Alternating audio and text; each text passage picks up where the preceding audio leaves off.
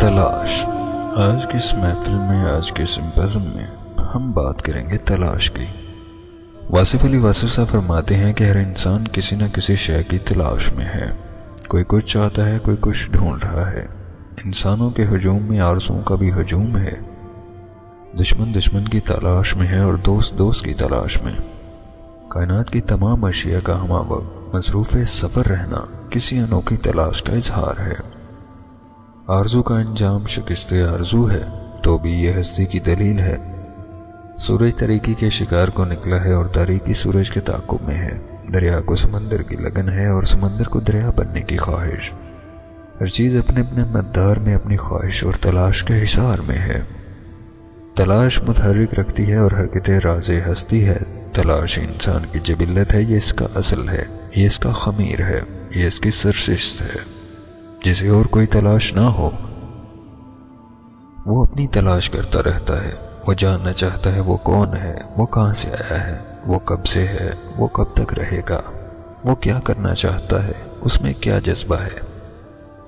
उसमें क्या महरूमियाँ हैं, उसमें क्या नाकामियाँ हैं, जिनके बावजूद वो ज़िंदा रहने पर मजबूर है। इंसान इस बात से आगाह होना चाहता है कि ये कायनात, निज़ाम कायनात किसने तख्लीक फरमाया? तख्लीक हुसन में क्या हुसन तख्लीक है? ये सब जलवे किसके हैं? कौन है? पर्दे में और पर्दे से बाहर। तलाश का सफ़र इतना ही कदीम है जितना कि हस्ती का सफ़र हर पैदा होने वाले इंसान के साथ उसकी तलाश जारी है। इंसान को हमा वक्त ऐसे एहसास होता है जैसे वो कुछ खो चुका है, वो कुछ भूल गया है। उसे छोड़ी हुई मंजिल, मुतलाशी रखती है। वो महसूस करता है कि उसके पास कोई कदीम राज था इसका बेरब्त माजी उसके मुस्तबिल से महरूम करता है। शायद वो दुनिया के एवज आखरत का सौदा कर बैठा है। इंसान गौर करता है और जो जो गौर करता है, एक शदीद प्यास इसके अंदर और इसे जकड़ लेती है। जिस इंसान को तलाश का नुकता हाय दकीक से आशनाई ना हो, वो दूसरे इंसानों को चेहरे ही देखता चला जाता है, जैसे इन चेहरों में उसे किसी खास चेहरे की तलाश हो। वो चेहरा शायद इसने देखा हुआ भी हो, लेकिन वो इसको पहचानने का दावा नहीं कर सकता। वो इसको ढूंढता है, इसको पहचानने की कोशिश करता है, और ऐसा लगता है कि इंसान उस चेहरे को पहली बार देखते ही पहले देख चुका है।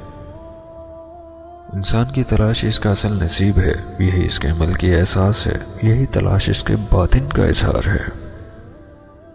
यही इसके ईमान की रोशनी है, तलाश इंसान को चैन से नहीं बैठने देती। इसे यूँ महसूस होता है जैसे कोई बिच्छू इसे डस रहा है, वो भागता है, दौड़ता है, बेताब रहता है। लेकिन जब वो शक्ल उसके सामने आती है तो उसे करार आ जाता है, वो उसे देख के एक सुकून हासिल कर लेता है। दरअसल हम जिस शय की तलाश करते हैं, इसने तो हमें तलाश अता की है। मंजिल ही जो के सफ़र पैदा करती है और जो के मंजिल रहनुमाई सफ़र होता है। मंजिल अगर अपने मुसाफिर पैदा ना करे तो हर तलाश एक वहम होकर रह जाए। जो हासिल आरज़ू है, वही खाल के आरज़ू है। ज़रूरत की तलाश और शय है तलाश की ज़रूरत और अर्के गुलाब और गुलकन के लिए गुलाब की तलाश करने वाला ज़रूरतमंद कहलाएगा। उसकी ज़रूरत कुछ और है, उसे हम तलाश के बाब में काबिल वो नहीं समझते। खुशबू का मुसाफिर बुए गुल को मंजिल दिल का मुकाम समझता है। वादी नूर के मुसाफरों की रहनुमा निगत कुल ही तो है। खुश इंसान सदाकत की तलाश करते हैं। ये सारी कायनात ही सदाकत पर मबनी है, लेकिन सदाकत का अपना अलग वजूद नहीं। सदाकत सादिक की बात को कहते हैं, सादिक का कोल सदाकत है। इस सदाकत की पहचान अपनी सदाकत है। अपनी सदाकत एतमाद ज़ात सादिक है।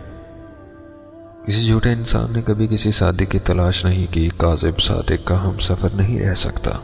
सादिक मानने के बाद इसकी राह के अलावा कोई राह गुमराही है। तलाश का ये मुकाम बहुत अरफा है कि इंसान सदाकत की तलाश करे। सादिक से नस्बत का सहारा लेकर इंसान अपनी ज़ात से आशना हो जाता है। ये तलाश अपने बातिन की तलाश है। अपने आप में जितनी सदाकत मैसर आएगी, इतना ही सादिक से तकर्रब बढ़ेगा। और इंसान को अपने आप में सदाकत नज़र ना आए। वो नस्बत सादिक से महरूम हो जाता है।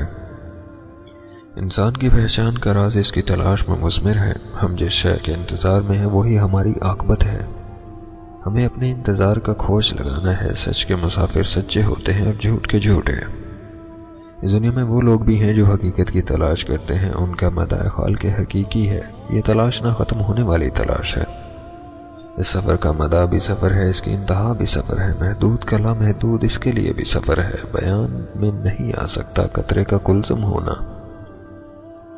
वही जानता है जिस पर यह मकाम और मराहल गुजरते हैं। खालिक की तलाश बाजुका दुनिया से फरार की ख्वाहिश है। दुनिया से घबरा कर वह ज़दा होकर इंसान खालिक का कुर्ब तलाश करता है। कुछ लोग दुनिया की नियमतों के असूल के बावजूद इसकी मोहब्बत में मशगूल हो जाते हैं।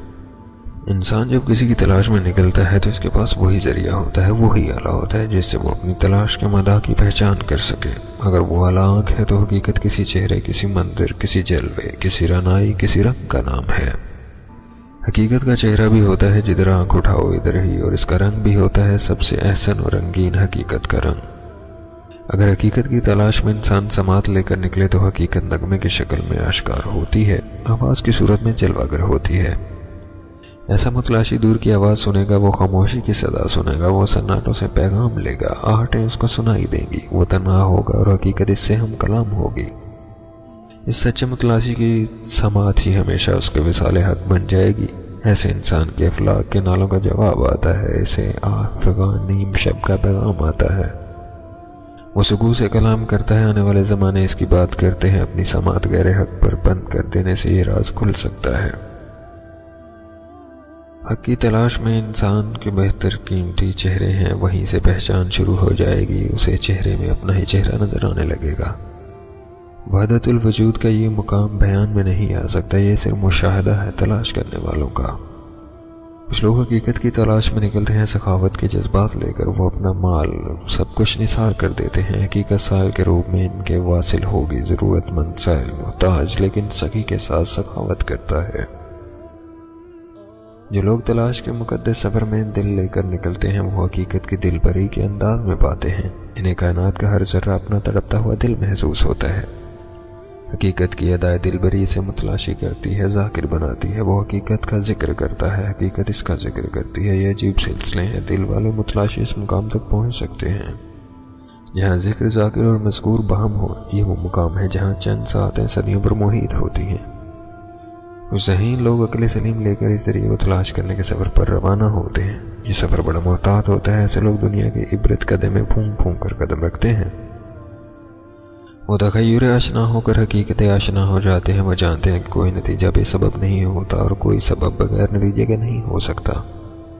इतनी बड़ी कायनात बगैर सबब के नहीं और इसके सबब का कोई ना कोई ज़रिया ज़रूर है, वही मुसबब है। अकल वाले सबब मुसबब का सफ़र करते हैं, वो नियमतों से का निशान तलाश करते हैं।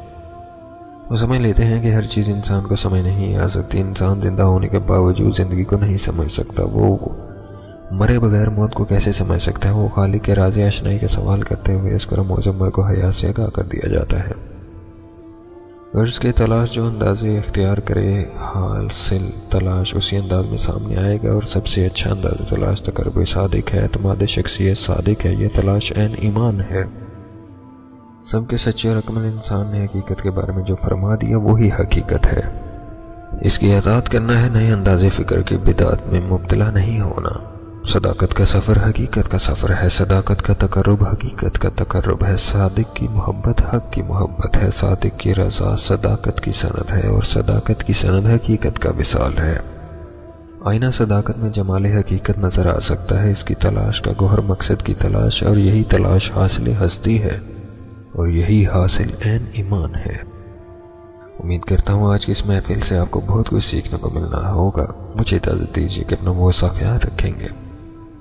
और आने वाली बेहतरीन वीडियोस के लिए हमारे इस चैनल को ज़रूर सब्सक्राइब करेंगे। आपको और मेरा अल्लाह ने के बान।